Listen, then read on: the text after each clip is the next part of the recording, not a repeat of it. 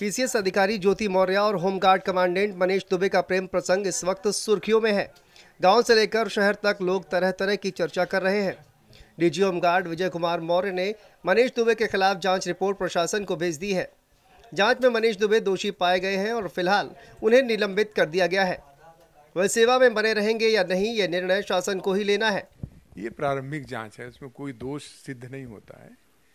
जो दोष निर्धारण का काम विभागीय जाँच समिति या विभागीय जाँच के जो पीठासीन अधिकारी होते हैं, वो करते हैं। मात्र जो आरोप लगे थे, उसमें प्रथम दृष्टया आरोपों पे विभागीय जाँच हो, इसकी पूरी की पूरी रिपोर्ट अभी आई है। और ये चूँकि नियोक्ता अधिकारी, नियोक्ता शासन होता है, गजटेड ऑफिसर्स का, इसलिए शासन के पास विचाराधीन है।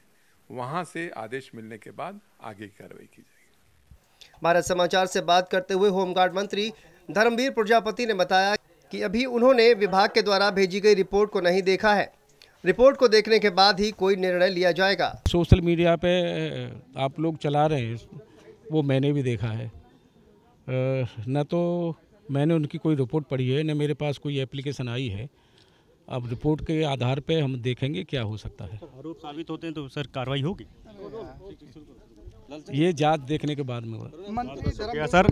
आपको बता दें कि दोनों अधिकारियों के प्रेम प्रसंग की खबरें सुर्खियों में आने के बाद होमगार्ड कमांडेंट मनीष दुबे को गाजियाबाद से मोहबा भेज दिया गया था। DG home guard Vijay Kumar Maurya ने कहा था कि मनीष के कृत्यों से विभाग की किरकिरी हुई है। नसीहत देते हुए उन्होंने कहा था कि ऐसा कार्य किसी को भी नहीं करना चाहिए।